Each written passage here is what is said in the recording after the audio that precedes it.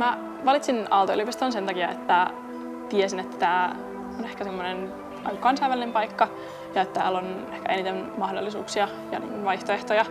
Mä oon aina tiennyt, että mä haluan niin teknilliselle alalle opiskelemaan.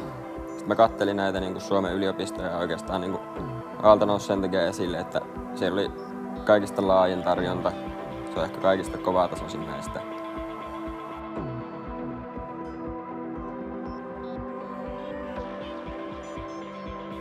Täällä oikeasti on ihan käsittämättömän fiksuja tyyppejä ja täältä voi päästä semmoisiin niin tutkijatehtäviin, ihan niin kuin maailman, maailmanluokan tutkijatehtäviin, mutta toisaalta myöskin täällä saa ihan käsittämättömän niin kuin hyvät lähtökohdat mihin tahansa.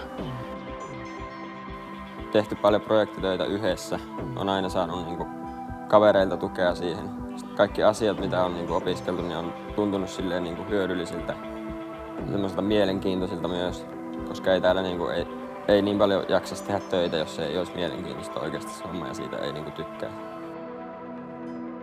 Mä koen, että se on ihan tosi siistiä, että pääsee näkemään niitä, sitä puolta myöskin.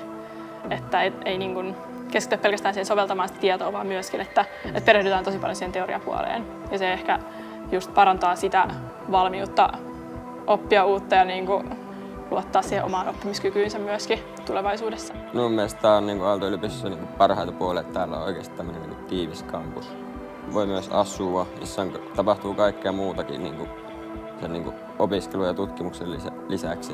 Ainakin täällä meidän niin kuin teknisen fysiikan puolella niin se niin kuin opiskelijat ja tutkimus on tosi lähellä toisiaan. Vaikka mä aluksi vähän jännitin sitä, että löytyykö täältä niin kuin ihmisiä, löytyykö täältä samantyyppisiä kavereita mulle ja niin kuin, miten tulee ihan uutena, uuteen ympäristöön, niin miten sitä niin kuin sitten löytää taas uudet piirit, niin siis onhan se niin kuin, mahtavaa, miten paljon uusia ihania tyyppejä täällä on tavannut ja niin kuinka samanhenkistä porukkaa täällä on.